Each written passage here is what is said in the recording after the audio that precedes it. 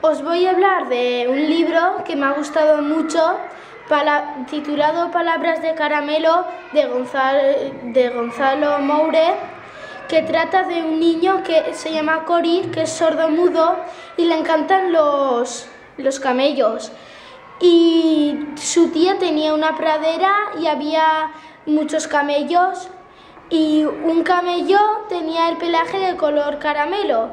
Y Cory siempre, eh, su maestra le quería enseñar a escribir y Cory eh, hacía poesías y todo mirándole a él y le llamaba palabras de caramelo. Y como el camello era rumiante, movía mucho la boca y creía Cory que hablaba con él. Y ahí sacaba las poesías de palabras de caramelo.